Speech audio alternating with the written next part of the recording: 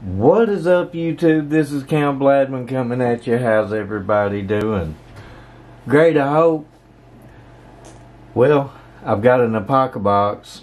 I didn't do the last one because I was in the hotel room and I just didn't get around to it. Uh, this is December. Uh, Apocabox is sixty dollars a month. Um, it's it's an okay subscription if you're looking for bushcraft stuff or be, doing stuff with your hands or doing a skills thing, you know, Apocabox is pretty cool. Um, I, you know, um, I haven't been too t- totally disappointed with them. Uh, some of their stuff is kind of cheesy, but a lot of stuff is real usable, you know. Um, so, like I said, this is December. Uh, I'm going to go ahead and get into this. I'm using my Spyderco amalgam. This is my absolute favorite Spyderco that I own. Uh, got the compression lock on it. It's it's awesome. But let's see what we got in in a pocket box for December. All right. So this is the the guide that tells everything. That's Creek Stewart. I guess that's his family. Merry Christmas. Oh, well, it's handwritten. That's pretty cool. Yeah, Creek Stewart, he's the guy that owns Apocabox. He's a, a, a bushcraft guide and stuff like that. So that's him, and that's pretty cool. Being that that's a uh, a uh, handwritten and everything. So I'm gonna set this off to the side, and let's just open this up and see what we got. The Mastermyr Forest Knife. Let's see. No, Let's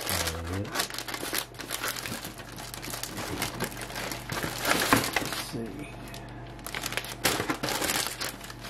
Let's got a knife in Mastermyr knife. Okay. Every Viking woodworker needed a good knife. We've used the illustration of the knife remnant found in the Mastermyr chest to recreate a new version of that knife just for you. This is an exclusive build for Apocabox members only. Whether you're using the Mastermyr Forest knife to work wood around camp or for daily chores to and fro, the custom bone Kydex sheath will keep it safe safely by your side. We've custom stamped each knife with a new Creek logo. So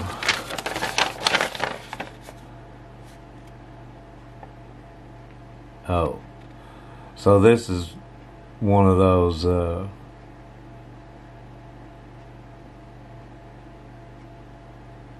skills thing. I guess you take the paracord here and wrap it around the uh,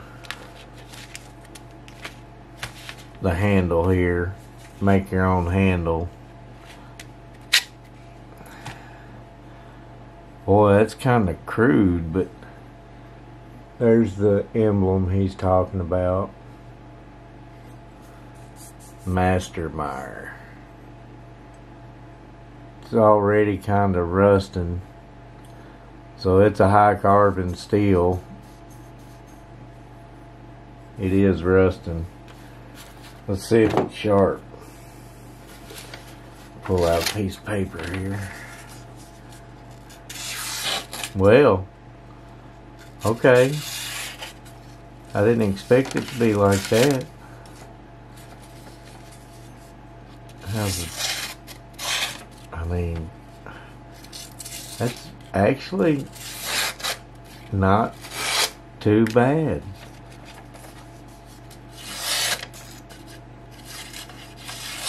That's not a bad little edge on that. I'm not. I'm never mad at getting a knife, you know. Uh, but it definitely needs to be oiled up and everything. That's okay, you know. It's not a bad looking blade. Kind of like a Wharncliffe style blade. But as you can see, it's it's already rusting, so I'm gonna have to take care of that like ASAP so it don't finish rusting but that's okay. I'm not mad at that. See, I mean, you know, there's there's some uh, pretty good stuff comes in Apocabox sometimes. So the next thing on the list is a Mastermyr hand forged camp trivet. This hand forged trivet is exactly like the ones used in, by the Vikings. Scoop hot coals underneath the brew tea Okay, that that would be it. Scoop hot coals underneath to brew tea, bake bread, warm sandwiches, toast bread, cook stews, or even grill steaks. It's the perfect camp kitchen accessory for cooking low and slow. So it comes in this burlap sack, which is kind of cool, but holy crap all the fibers are stuck to it from the burlap sack. So that's a that's a trivet.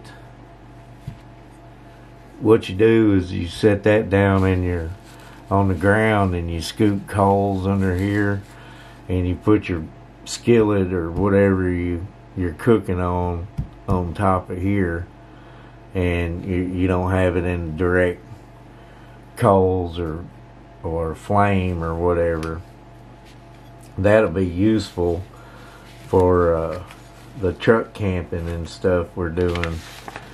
Uh, me and the wife, we're having fun doing that stuff too. So, all right. So the next thing on the list is the Scandinavian Kuksa scoop. The kuksa is a traditional Scandinavian carved wooden cup made from the burl of a birch tree.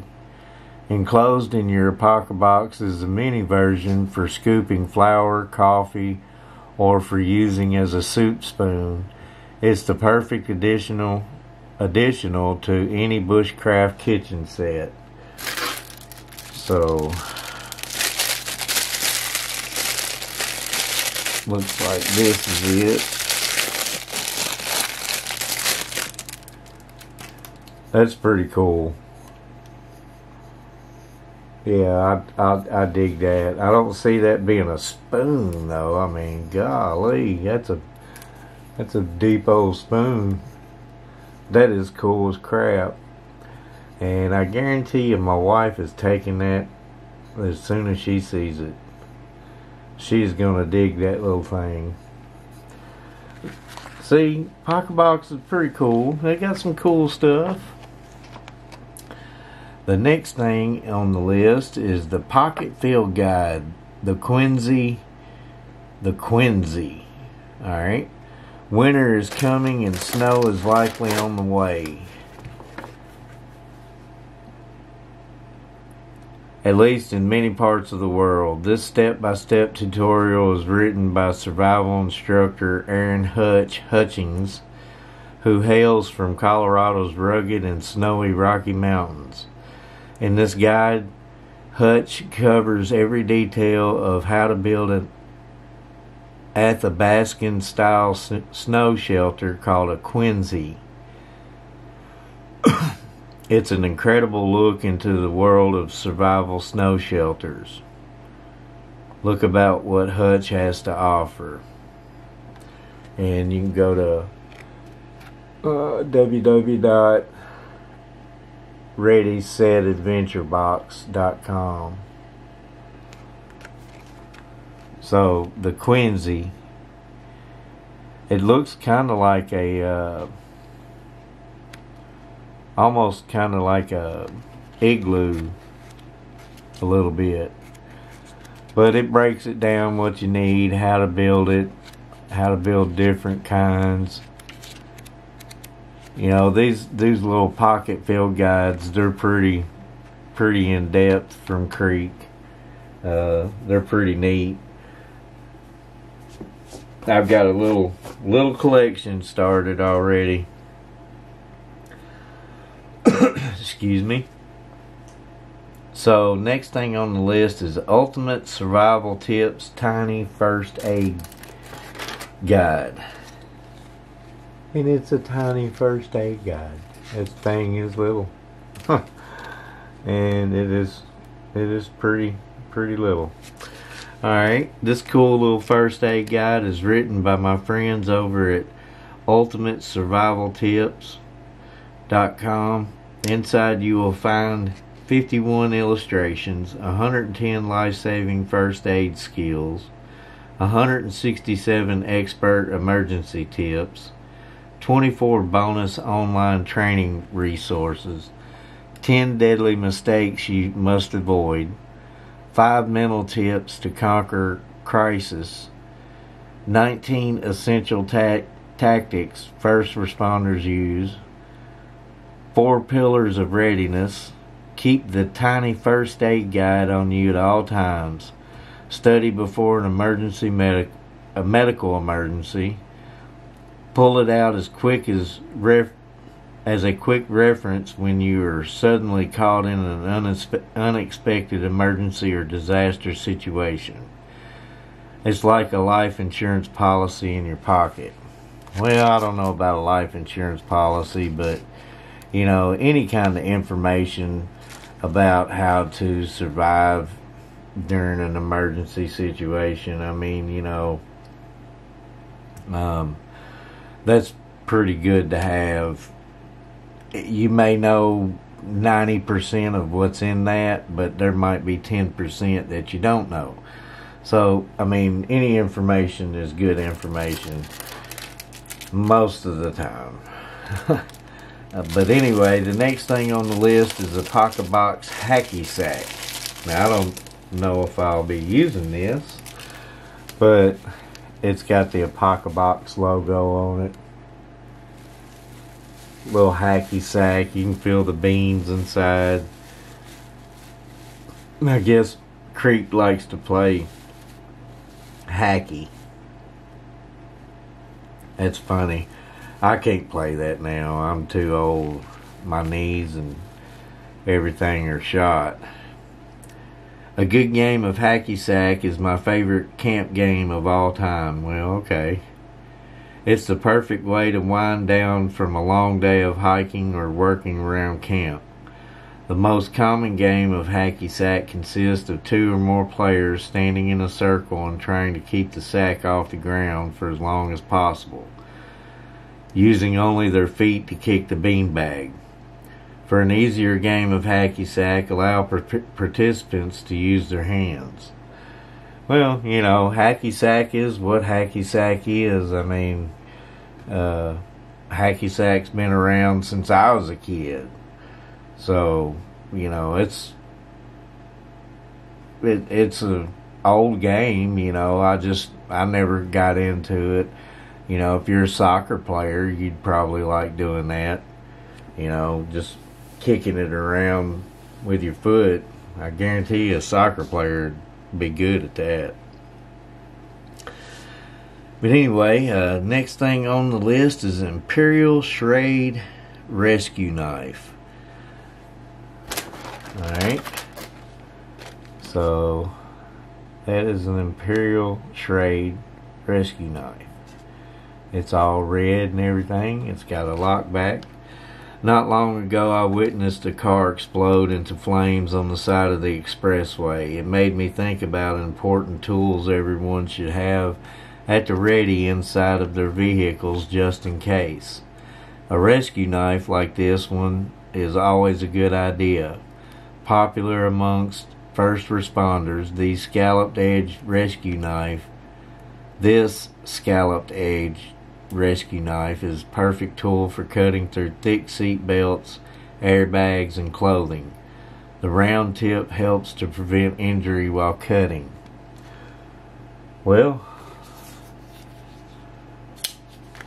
I guess that's okay. Uh, like I said, it's a knife, and you know, I'm not going to complain about a knife unless it's just a really bad one. But I hate blister packs. Worst I've ever been cut was by a blister pack. I know I keep saying that every time I open one, but it just, oof. So, it has got these little serrated edges on it. Feels like a plastic composite handle. The blade mm, can't see no no no steel composition stamped on it anywhere. I mean, okay, well, it's definitely not meant for fine skills. That's fine. I get it. You know, it's meant for cutting seat belts and stuff like that. It does have a, looks like it has a safety tip on it.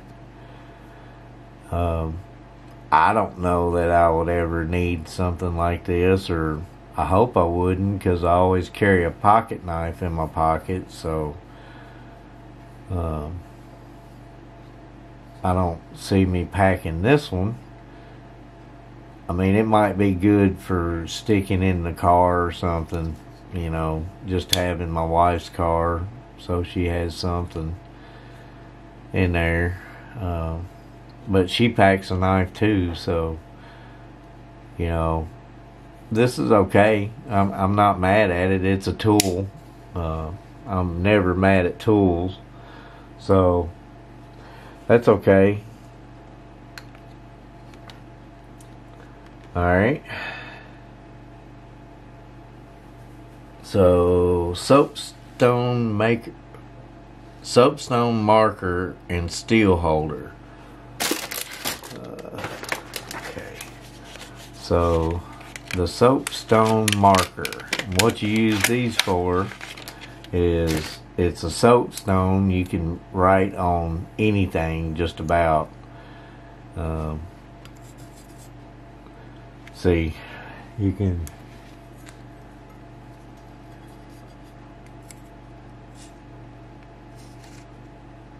Well, I'm trying to write in the camera. Sorry. So a soapstone is for writing on just about anything. They're they're awesome to have. Uh, so yeah, I'm not mad at getting one of these. I used to have one a long time ago, but it broke. Um, somebody was using it and they extended it out more than what it needed to be and they dropped it and it broke and it's just one of them things you know. Don't like letting people use my stuff but there it is. I got another one. Yay. Soapstone is a metamorphic rock composed largely of a magnesium rich material mineral talc. First peoples used soapstone in a variety of ways, including carving figurines and amulets, making fat burning fat burning lamps, anut, and more. Few know the soapstone makes a fantastic all conditions survival marking tool, whether marking on wood for cutting or and carving or writing survival messages on stone or windshields. Soapstone is water and heat resistant. It will mark on almost anything and here's the best soapstone secret of all. Soapstones make the perfect lubricant for bow drill bearing Oh, bow drill bearing block divots. Apply some to your next bearing block for a nearly frictionless dr drill. Hmm. Alright. Well, that's pretty cool. Alright, so. One last thing is the survival challenge.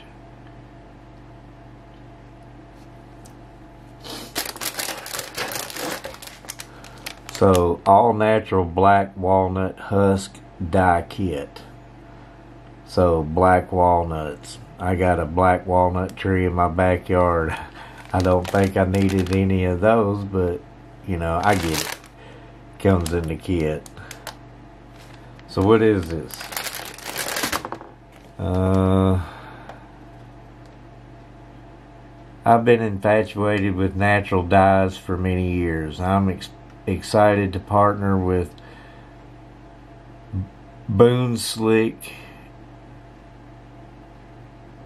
Leather. Okay, Boone Slick Leather to bring you a one of a kind natural walnut dye project kit.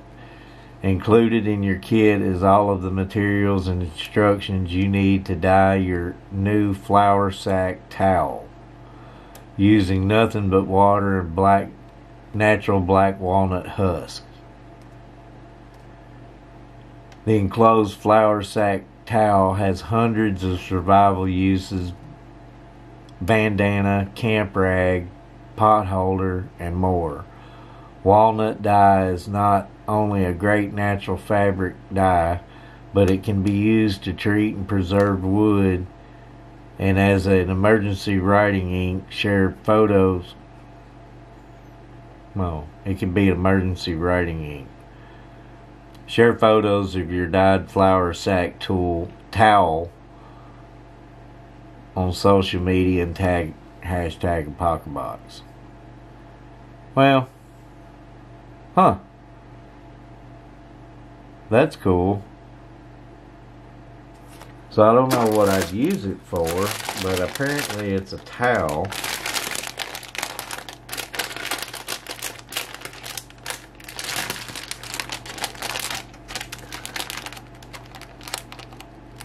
If I can get it open.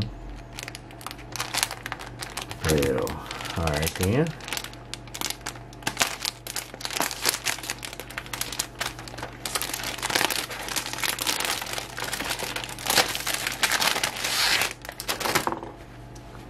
So it's just a it's like a pillowcase sized towel made in India. At least it was made in China. Uh, so, huh? Yeah, that's pretty cool. I'm gonna dye it. I don't know when. Between working and going to school and all that good jazz, uh, it's kind of kind of hard to do anything right now and having to like